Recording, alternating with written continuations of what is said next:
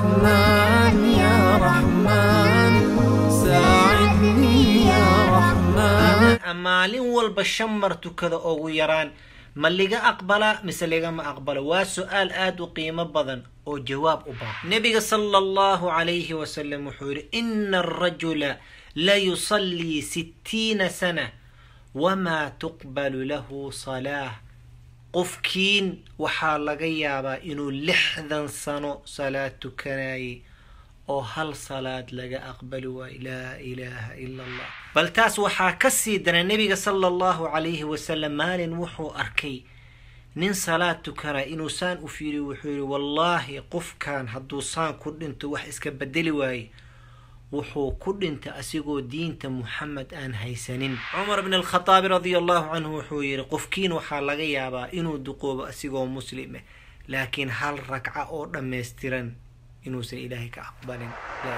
Alxamdu lilah wsalaatu wasalaamu calaa rasuuli illah walala joogtaan assalaamu calaykum waraxmat ullaahi wabarakaatuh waxaan bilaabaynaa silsilo cusub ama xalaqaad cusub oo la yiraahdo salaada iyo axkaamteeda. Waxaanan ku soo qaadan doonaa arrimahan soo socda kow salaada iyo ahamiyadeeda diinta islaamka salaada halkay ka joogta mansiladeeda waa halkee ma koobaada? Mise waa kan ugu sarreeya mise waa kan ugu hooseeya? Waxaa loo baahan yahay qof walba oo muslim inuu ogaado salaadan qiimahay ku fadhiso maxay tahay? Labo salaada saxda sidee loo tukadaa? Salaada arkaanteeda maxaa oo hal ka mid hadaa ka tagd salaadaada waxba ka jirin. Waajibaadkeeda muxuu yahay? Sunanteeda maxay tahay siduu nebigu u tukan jiray waa sidee masaarteeda isaga tukanaysaa sidii hooyada aabbaha iyo muslimiinta kale u tukanay ma u tukanaysaa mise xadiidka nebiga ayaa raacaysa oo salluu kamaa ra'aytumuunii usallii war u tukada saa ay aragteen inaan u tukado u tukada nebiga sala allahu calayhi wasalam markuu tukanayo mixraabkuu fuuli suu u tuso dadka ka dambeeya siduu u tukado. Haddaba sidee u tukataa salaada arkaanteeda iyo waajibaadkeeda ma saxdaa mise ma saxdid. Tan saddexaad waxaan ka sheekeynaynaa qaladaad la sameeya. Dadka tukada waxaa jira qaladaad ay sameeyaan ama markay sujuudsan yihiin ha noqdaan salaada dhexdeeda. Ama dharkay ku tukanayeen laftirkooda ha noqoto. Ama booskay ku tukanayeen ha noqoto. Qaarna waxaa u badan odayaasha. Qaarna waxaa u badan dhalinyarada waxaan ka sheegi doonaa akhtaa'daas qaladaadkaas iyo salaada si u dhaawacayso ayaan ka sheegin waxaa laga yaabaa hal qalad aa salaada ku samaysay salaadaada dhan inaan la aqbalin ee iska ilaali akhtaa'daas iyo arrimo kale oo ku saabsan salaada ku saabsan. Haddaba insha allah walaalayaal qof walba waxaan ka codsanaa inuu la socdo silsiladan si fiican u dhagaysto walaalihiis kalena u sii gudbiyo leana salaada waa arrinta ugu muhiimsan oo qofka muslimka loo baahan yahay inuu ilaaliyo intuu adduunyada joogo. Jazaakum allah khayr baarak allah fiikum. Salaamu alxamdulilah wasalaatu wasalaamu calaa rasuulillah. Wala joogtaan assalaamu calaykum waraxmat ullaahi wabarakaatu waa xalaqadii labaad oo ahayd salaada iyo axkaamteeda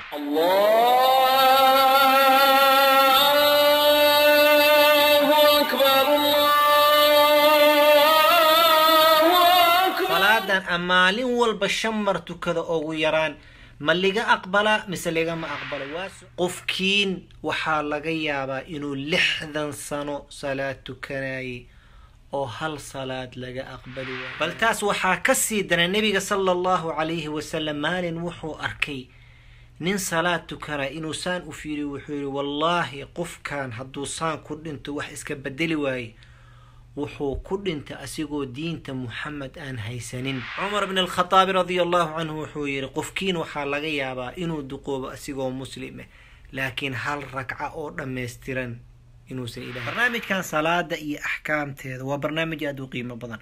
Waxaan kaga hadli doonaa insha allah salaada iyo fadaa'ilkeeda. Salaadan horta laga hadlaayo halkay joogtaa fadaa'isheedane waa maxay salaada arkaanteeda tiirarkay ku taagantay waajibaadkeeda oo haddaa mid ka mid ah ka tagtay salaadaada ay waxba ka jirin qaladaad ka dhaco dadka tukado salaada dhexdeeda iyo salaada banaankeeda odayaasha dhalinyarta iyo dumarka. Xalaqadeena maanta waxaan xoogga saaraynaa salaadan fadligeeda qiimaheeda miisaankeeda waa maxay? Waxaan sheegi doonaa toban fadli ee si fiican u dhageyso fadliga koobaad salaada waa cimaad uddiin salaada waa laf dhabarta diinta islaamka. Ibni aadanka haddii dhabarkiisa wax gaaraan ama lafdhabarta ee wax gaarta ma istaagi karo. Diintaada islaamka salaad la'aanne waxba kama jiraanoo ma istaagi karto. Nebiga sala allahu caleyh wasalamna xadiid saxiix oo mucaad ayuu oogu sheegay fadliga labaad salaada dembigaa lagu dhaafaa maalin walba dembiyaa gashaa. Nebiga sala allahu caleyh wasalam axaadiid aad u tiro badan uu sheegay bal mithaaluu bixiyey. Example bixiyey wuxuu yiri ka waran qofkiin hadduu webi hormarayo maalin walba shanku mar qabaysanayo korkiisa wasakh may leedahay maya salaadana waa saasoo dembiga ayay dhaqdaa. Fadliga saddexaad salaada waa nuur.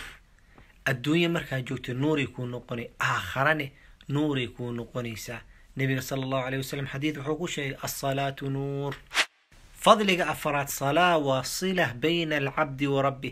Adiga iyo ilaahay xiriirka idinka dhexeeya waa salaadaas. Haddaa goysid adiga iyo ilaahay xiriir idinka dhexeeya ma jirto. Sidaa darteed waxaa loo baahan yahay salaada inaad ku dadaashid.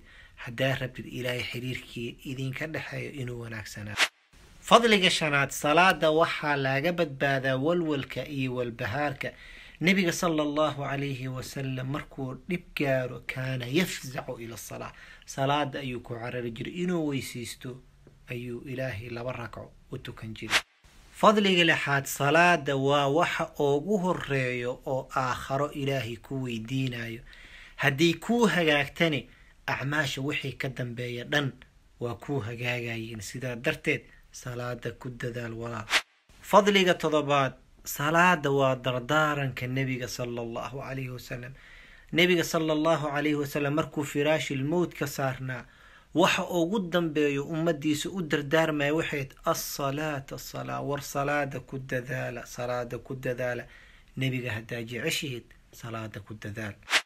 Fadliga sideedaad nebiga markii salaada loo soo dhiibayay asigaa la kaxay lama soo dejinin oo nebiga israa walmicraaj lagu sameeyey qiimahay salaada leedahay ayay ku tusaysaa salaada waa shayga keliya oona lagugu cudurdaaraynin. Ninka ragga bidaat cudurdaar ma laha. Gabdhaha waxaa laga yaabaa marar qaarkood inay cudurdaar ka yeeshaan. Laakiin ninka ragga marna cudurdaar ma laha salaada. Soonka cudurdaar uu lahaan karaa. Xajka cudurdaar uu lahaan karaa.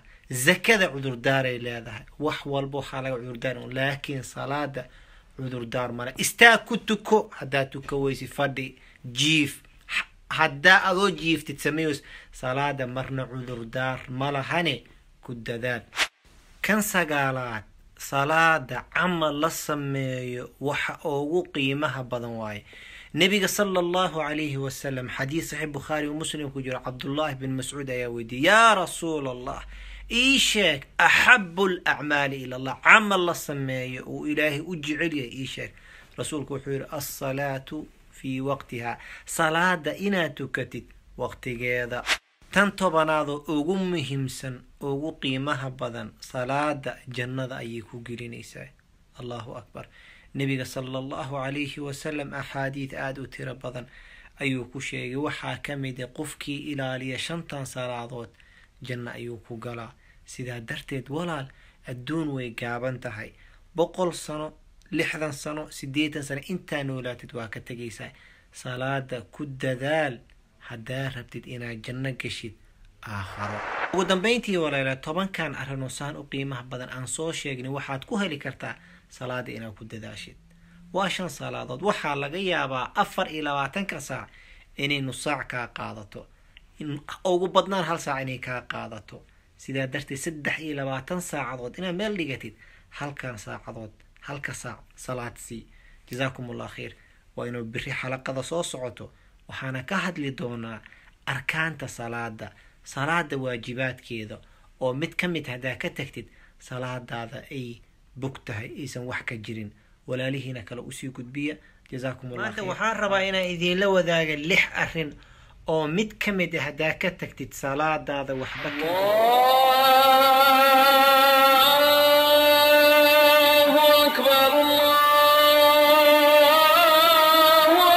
salaadan a maalin walba shan mar tukada ugu yaraan ma liga aqbalaa mise ligama aqbalo qofkiin waxaa laga yaabaa inuu lixdan sano salaad tukanayay oo hal salaad laga aqbali waayo. Bal taas waxaa ka sii dana nebiga sala allahu calayhi wasalam maalin wuxuu arkay nin salaad tukana inuu saan u fiiriyo wuxuu yihi wallaahi qofkan hadduu saan ku dhinto wax iska bedeli waaye wuxuu ku dhintay asigoo diinta muxamed aan haysanin. Cumar bn alkhataabi radia allahu canhu wuxuu yihi qofkiin waxaa laga yaabaa inuu duqoobo asigoo muslime laakiin hal ragca oo dhammaystiran inuusan ilahay barnaamijkan salaada iyo axkaamteeda waa barnaamij aada u qiimo badan. Waxaan kaga hadli doonaa insha allah salaada iyo fadaa'ilkeeda. Salaadan horta laga hadlaayo halkay joogtaa fadaa'isheedane waa maxay? Salaada arkaanteeda tiirarkay ku taagantay waajibaadkeeda oo haddaa mid ka mid ah ka tagtay salaadaada ay waxba ka jirin qaladaad ka dhaco dadka tukado salaada dhexdeeda iyo salaada banaankeeda odayaasha dhalinyarta iyo dumar. Alxamdu lilah wsalaatu wasalaamu calaa rasuuliillah walaala joogtaan assalaamu calaykum waraxmat ullaahi wabarakaatuhu. Waa xalaqadii saddexaad oo ahayd salaada iyo axkaamteeda. Xalaqadii la soo dhaafay waxaan ka soo sheekaynay toban faa-iido ay leedahay salaada. Laakiin salaadan ka sheekeynayna waa salaada saxda ah salaada loo baahan yahay shuruudeeda in lala yimaado arkaanteeda lala yimaado akhtaada ama qaladaadka laiska ilaaliyo. Haddaba sidaa darteed maanta waxaan ka sheekeynaynaa shuruud salaa shuruud salaa waxaa waaye acmaal. Loo baahan yahay qofka inuu la yimaado intuusa salaada soo gelin ka hor. Salaada duhuraa rabtaa inaad tukatid ama casiraa rabtaa inaad tukatid intaadan salaada gelin waxaa lagaaga baahan yahay lixdan arine ku dadaal oo si sax ah u sameey shardiga koowaad waa dukhuulu lwaqt salaadaad tukanaysid waqtigeeda inuu joogo waaye. Dadka qaarkooda waxay ku leeyihiin salaada duhur waxay soo gashaa kowda. Anigana shaqo waxaa liga rabaa laba iyo tobanka. Intaan la gaarin kowda ma tukan karaa jawaabta. Waxaa waaye maya. Nan allah subxaanahu wa tacaala wuxuu yidhi ina asalaata kaanat cala almu'miniina kitaaban mawquuta. Sidaa darteed salaad waqtigeeda ka hor lama tukan karo. Salaad walba waxay leedahay waqtigay ku bilaabato iyo waqtigay ku dhammaato. Nebiga sala allahu calayhi wasalam waxaa baray jibriil salaada duhur mathalan waxay soo gashay waqtigan kowdoo kale soo gashay mathalan waxay dhammaatay saddexdoo kale. Intaas inta u dhexayso waa tukan kartaa ka horna ma tukan kartid kadibna ma tukan kartid. Shardiga labaad waa satrul cawra. Qofka cawradiisa inuu asturo ragga iyo dumarka way kala duwan yihiin. Gabadha waxaa loo baahan yahay korkeeda dhan inay daboosho. Waxaan ka ahayn wejigeeda iyo gacmankeeda. Labadaas waxaan ka ahayn waa inay daboosho dharkii ku xiranaysana salaada ku gelaysane waa dhar asturaaya korkeeda inuu ahaado dhar korkeeda laga arkayo khafiif kuma tukan karto. Ninka raggana sidoo kale waxaa loo baahan yahay korkiisa inuu asturo. Cawrada ninkana waxaa waaye xudunta ilaa jilibka intuu u dhexayso waa inuu daboolo. Garbahana waa inuu daboolo markuu salaada ku jiro. Sidaa darteed qof walba waxaa loo baahan yahay cawradiisa inuu asturo hadday cawradaada asturneen salaadaada sax ma ahan allahna kaama aqbalaayo. Shardiga saddexaad waxaa waa alطahaara min alxadath alasgari waalakbar qofka inuu daahir ka yahay xadadka yar iyo kan weyn maxay kala yihiin? Xadadka yar waxaa kaa kaafinaya inaa weysaysatid mathalan muqsushaa isticmaashay neefaa kaa timid waa seexatay. Waxyaalahaas waxaa kaa kaafinaya weyso xadath al akbar wuxuu yahay qabees waaye. Waxyaalaha qabeeska waajibinayo ragga iyo dumarka wax ka dhexeeyaa jiro dumarkana waxay khaas u yihiinaa jirto. Sidaa darteed qofka intuusa salaada gelin waxaa laaga baahan yahay inuu daahir ahaado. Labada xadadbo nebiga sala allahu calayh wasalam wuxuu noo sheegay ilaahay ma aqbalo salaad aan tahaaro lagu tukanin shardiga afaraad waa tahaarat albadan qofka korkiisa inuu daahir ahaado oo nijaasa lahayn tahaarat athawb dharkaa ku tukanaysid inuu daahir yahay uusan nijaas ahayn. Meeshaa ku tukanaysid inay daahir tahay aysan nijaas ahayn. Shardiga afaraad marka wuxuu yahay saddexdaas meel inaad fiirisid korkaaga inuu daahir yahay. Hadday kaadi ku gaartay ama nijaas kale ku gaartay waa inaad dhaqday korkaas nijaasada kaa gaartay weysada kaama jibinayso laakiin inaad dhaqday ayaa loo baahan yahay. Dhar nijaasne kuma tukan kartid meel nijaasane kuma tukan kartid. Sidaa darteed saddexdaas arrin korka iyo dharka iyo meeshaa ku tukanaysid waa inay daahir ahaadaan oo aada hubisid intaadan salaada gelin. Shardiga shanaad waa istiqbaali lqibla qofka inuu qiblada u jeesto markaa salaada rabtid inaad tukatid waa inaad qiblada u jeesatid masaajid haddaa joogtid kama walwalaysa meeshii qiblada kaa jirto sidaa darteed waxaa fiican dadka inay masaajidka ku soo tukadaan.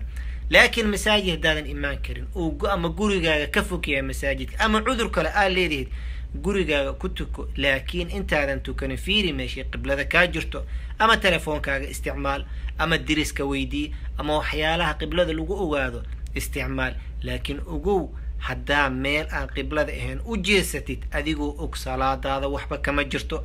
Laakiin haddaa raadisid oo u malaysid inay geeskaas kaa jirta ee qiblada geeskaas tahay oo gadaal ka ogaatid salaadii hore ma soo celinaysid. Laakiin wixii hadda ka dambeeyo waa inaa ilaalisid. Shardiga lixaad waa anniya qofka inuu la yimaado niyad. Salaadaa tukanaysid maxay tahay? Niyadan afka lagama dhah naweytu usalli ma ahan niyadda qalbiga ayaa ku haysanaysa maxaluha alqalb waaye. Shuruudihii aan soo sheegnay shanta ahaa markaa samaysid oo qiblada u jeesatid waa niyeysanaysa salaadaa tukanaysid maxay tahay duhur miya casr miya maqrib miya cisha miya? Markaa niyeysatida waxaa leedahay allahu akbar ayaa leeda waa niyeysatid taasaa niya la dhahay. Niyadaasna waa muhiim. Dadka qaarkood waxaa laga yaaba suu u socdo salaaduu gala wuxuu tukanaa ma oga ama dii kale naweytu usalli farda salaati almaqrib duhur uuna tukanaya salaada markaa gelaysa waa inay niyadaada joogto salaadaa tukanaysidne waa inaad taqaanid waxay tahay niyadda waa muhiim waa salaada tiirkeeda waaye. Sidaa darteed qofka intuusa salaada gelin waxaa loo baahan yahay inay niyadiisa joogto wuxuu tukanayan uu og yahay. Waxaa kaloo lagu daraa saddexdan shardi. Kan koobaad qofka intuusan salaada gelin waa inuu muslim yahay leanna gaal ilaahay salaad kama aqbalaayo tan labaad qofka waa inuu caqli leeyahay. Qofka waalan waajibba kuma aha salaada leanna wuxuu tukanayo ma yaqaano. Tan saddexaadna waxay tahay atamyiis qofkan waa inuu qof qaangaar yahayo wax kala og yahay. Sagaalkaasay culammada ka dhigaan. Insha allah tacaala intaas waxaa noo dheer. Arkaani salaa salaada tiirarkay ku taagan tahay waa maxay? Berri ayaan ka sheekayn doonaa hadduu ilaah yiraahdo. Walaalaha kale u sii gudbi ha ka bakhiilin ka faa'iidayso. Jazaakum allahu khayran baaraka allah fiikum waxaan rabaa inaan idinla wadaago arkaani salaa macnaheeda waxaa waaye tiirarka salaada haayo. Oo haddaa mid ka mid ka tagtid salaadaada waxba ka jirin.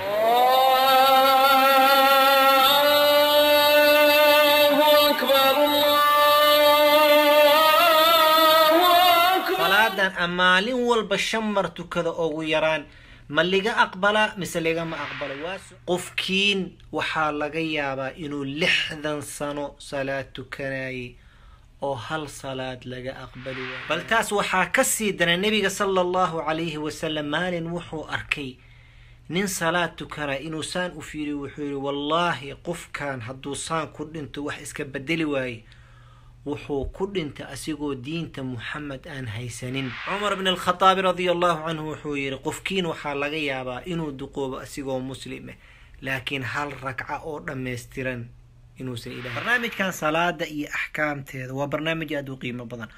Waxaan kaga hadli doonaa insha allah salaada iyo fadaa'ilkeeda. Salaadan horta laga hadlaayo halkay joogtaa fadaa'isheedane waa maxay salaada arkaanteeda tiirarkay ku taaganta waajibaadkeeda oo haddaa mid ka mid ah ka tagta salaadaada ay waxba ka jirin qaladaad ka dhaco dadka tukado salaada dhexdeeda iyo salaada banaankeeda odayaasha dhalinyarta iyo dumar. Alxamdu lilah wsalaatu wasalaamu calaa rasuuliillah walana joogtan assalaamu calaykum waraxmat ullaahi wabarakaatuhu. Waa xalaqadii afraad oo ahayd salaada iyo axkaamta xalaqadii la soo dhaafay waxaan ka soo sheekeynay shuruudu salaa salaada shardigeeda maantana waxaan ka sheekeynaynaa arkaani salaa farqiga u dhaxeeyo shuruudda iyo arkaanta waxay kala yihiin shardiga waa waxyaalaha lala yimaado intaan salaada la gelin. Arkaanta waa waxyaalaha salaada dhexdeeda lala yimaado oo iyadan haddaa mid e ka mid ah ka tagtid ragcaddaas waxba ka jiraynin kadibna salaadaas aysan waxba ka jiraynin haddaba maxay yihiin arkaanta salaada. Rukniga koowaad oo qof walboo salaad tukanaya loo baahan yahay inuu la yimaado waxaa waaye alqiyaam maca alqudra. Qof walboo salaad farad tukanaya waxaa waajib ku ah inuu istaago hadduu awoodo. Hadduu curyaan yahay ama uu xanuunsan yahay ama uusan istaagi karin kuma jirto. Laakiin qof walboo awoodo salaada faradka waxaa rukni u ah inuu istaago salaada sunnaha fadhi waa ku tukan kartaa laakiin ajirka boqolkiiba konton waa waynaysaa laakiin salaad kastoo farad ah qofkii raba salaadaha farad shanta inuu tukado waxaa rukni ah inuu istaago hadduu awoodo. Hadduu istaagi waaye asigoo awoodo salaadiisa waxba kama jirto. Rukniga labaad takbiiratu lixraam allahu akbarta koobaad. Markaa meesha gelaysa allahu akbar tan koobaad takbiirad salaada lagu xirto lana salaada waxaa lagu xirtaa takbiira allahu akbar waxaana laga baxaa salaan. Takbiirta koobaad oo allahu akbarta koobaad waa rukni. Haddaa la imaan weysa iyadani salaad kuumaba xirnaba. Rukniga saddexaad waa qiraa'atu lfaatixa fi kulli rakca. Faatixada alxamdu lilaahi rabi alcaalamiin inaa aqrisid iyadana waa rukni. Suuradaha kale inaa raacsiis way fiicanta laakiin suurat alfaatixa inaa ku aqrisid salaad ragcad walba waa rukni ka mid ah arkaanta salaada macnaheeda haddaa suurat alfaatixa aqri weysay ragcaddaas waxba kama jiraan. Rukniga afaraad waa alrukuuc markaa faatixada iyo suuradda qur'aanka markaa dhammaysid inaa rukuucdido dhabarkaaga toosisid ayaa loo baahan yahay. Rukniga shanaad waa al ictidaal markaa rukuucda dhammaysid inaa soo kacdid oo dhabarkaaga istaajisid inaa hori ka sujuudid looma baahno. Oo markaa rukuucda dhammaysid waa inaa soo istaagtid oo dhabarkaagana istaajis oo qof taagan ahaan lagu arko. Rukniga lixaad waa assujuud. Qofka inuu sujuudo wejiga dhulka dhigo toddoba meel ayaa lagaga baahanya inaad ka sujuudid. Wejiga iyo sanku iswata inaad dhulka dhigtid kow. Labadaada gacmood inaad dhulka dhigtid saddex. Labadaada jilbo inaad dhulka dhigtid shan. Labadaada lug hoosane inaad dhulka dhigtid toddobo. Toddobadaas meel ayaa loo baahan yahay inaad ka sujuudid. Sida qaladka marka sida saxda iyo sujuudda qaladka markaan ka sheekeynayno salaada iyo akhta'deeda ayaan ka sheekeynaynaa laakiin hadda waxaan rabnaa inaan ogaano sujuudda inay tahay rukni ka mid a arkaanta salaada rukniga toddobaad waa aljalsa bayna sajdatayn. Markaa sujuudda koowaad sujuudid. Iyo sujuudda labaad intaadan sujuudin waxaa u dhexeeya fadhi fadhigaas la fariisanaya waxaa la yidhaahaa jalsa bayna sajdatayn iyadana waa rukni inaa fariisatid.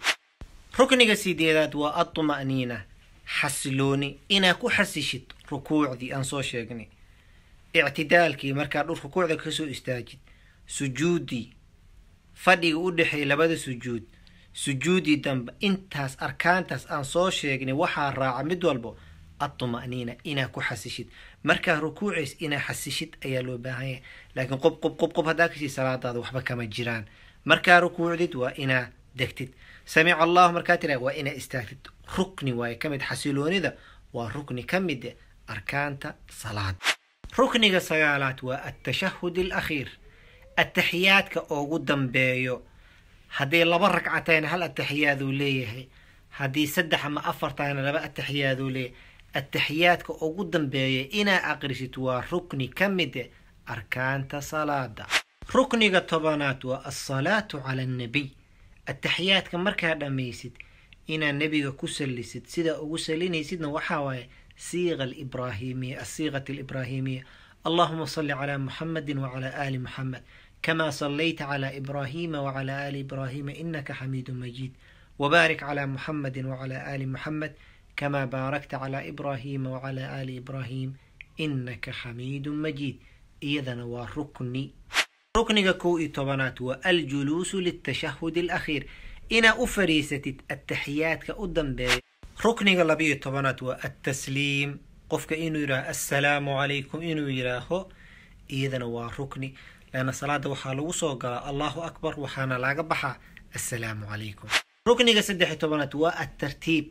qofka siduu ilaahay ugu talagalay salaada inuu wado faatixada rukuuca samica allah sujuuda. Saas i ahayn uma tukan karo. Samic allah inuu ka bilaabo haddana ma rukuuci karo haddana ma sujuudi karo.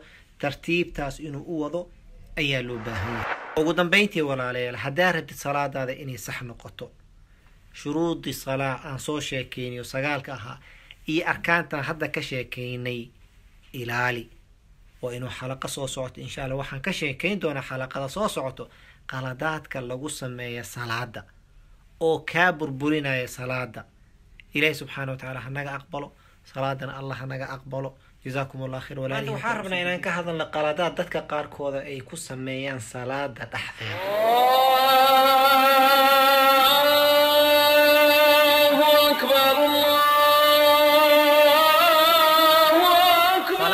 Maalin walba shan mar tukada ugu yaraan ma liga aqbalaa mise ligama aqbalo waa qofkiin waxaa laga yaabaa inuu lixdan sano salaad tukanayay oo hal salaad laga aqbali waayo. Bal taas waxaa ka sii dana nebiga sala allahu calayhi wasalam maalin wuxuu arkay nin salaad tukana inuu saan u fiiriyo wuxuu yihi wallaahi qofkan hadduu saan ku dhinto wax iska bedeli waaye wuxuu ku dhintay asigoo diinta muxamed aan haysanin. Cumar bn alkhataabi radia allahu canhu wuxuu yihi qofkiin waxaa laga yaabaa inuu duqoobo asigoo muslime laakiin hal ragca oo dhammaystiran inuusan ilahay barnaamijkan salaada iyo axkaamteeda waa barnaamij aada u qiimo badan.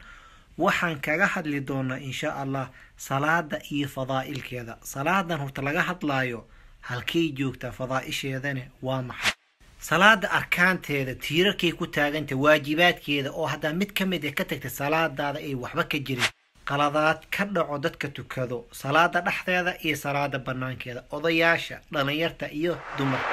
Alxamdu lilah wsalaatu wasalaamu calaa rasuulilah walana joogtaan assalaamu calaykum waraxmat ullaahi wabarakaatuhu. Waa xalaqadii shanaad oo ahayd salaada iyo afarta xalaqa la soo dhaafay waxaan ka soo hadalnay salaada iyo axkaamteeda. Labo salaada iyo fadaa-isheeda. Saddex salaada shuruudeeda. Intaadan salaada gelin waxyaalaha lagaaga baahaya oo mid ka mid hadaa ka tagta salaadaada waxba ka jirin. Tan afaraad waxaan ka soo hadalnay salaada arkaanteeda tiirarka iyo salaada ku taagantahay oo mid ka mid hadaa ka tagtay salaadaada waxba ka jirin. Maanta waxaan rabnaa inaan ka hadalno qaladaad dadka qaarkood ay sameeyaan salaada dhexdeeda. Way tiro badan yihiin laakiin maanta waxaan ka hadlaynaa qaladka ugu horeeyo dadka qaarkooda sameeyaan gaar ahaan odayaasha u badani.